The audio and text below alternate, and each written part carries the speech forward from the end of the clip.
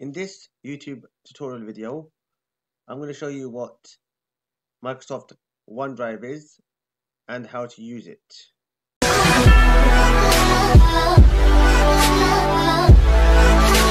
Then once, then once you've signed in, you'll have come to this page and then go to the top left hand corner with these dots and it says applications. Click on that. Then you have different ones then we click on this one where it says OneDrive, the little one with the little clouds. Put up a new tab.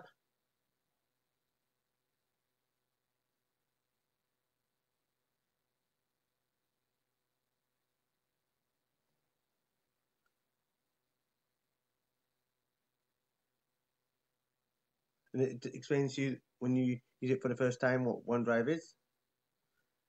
Let's get you started. Welcome to your OneDrive account.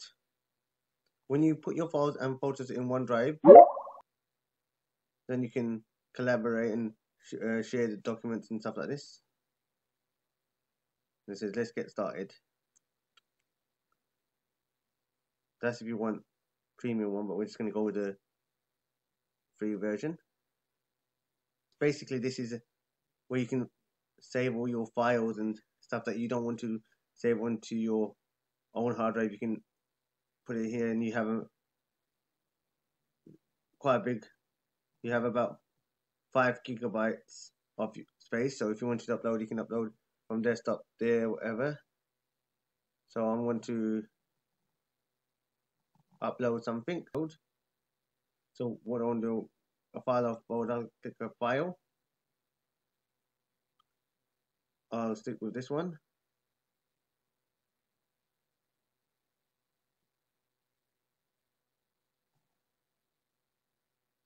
now in the email that it was sent to so we check that the email was sent with the attachment.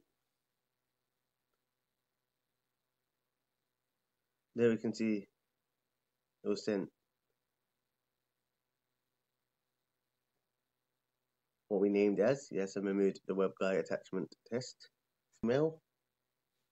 Now there we can see that it's there. So we can decide what we want to do with it can preview it, download it. We'll, we'll just preview it to make sure it's what we want.